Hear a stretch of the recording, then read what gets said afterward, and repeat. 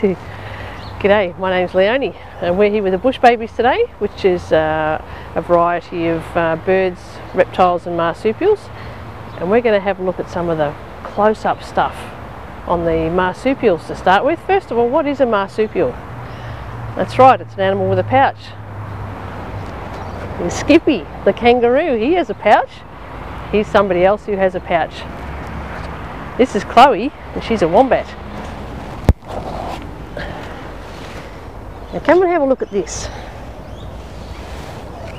This is where her pouch is.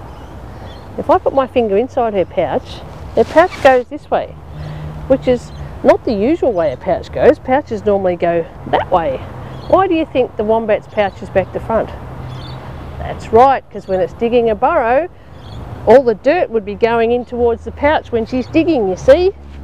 We don't want the baby to get all dirty, so the wombat's pouch faces the wrong way opens at the back so that the dirt can't go in.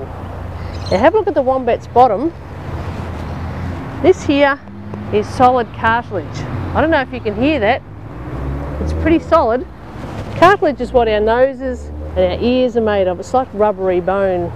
It's very solid and helps her to protect herself from predators. So if she was being chased by a dingo, she would run straight to her burrow, but instead of going all the way down, she would leave her bottom out just enough to tempt the dingo to put his head in because he thinks he's got her trapped.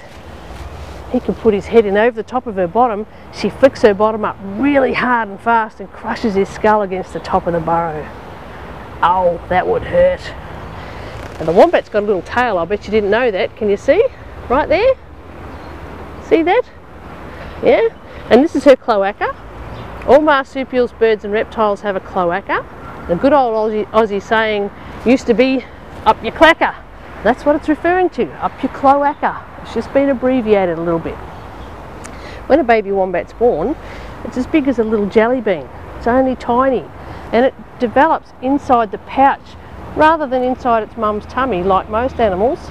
Maybe if you've got a brother or sister, a little baby, you remember it being inside mum's tummy.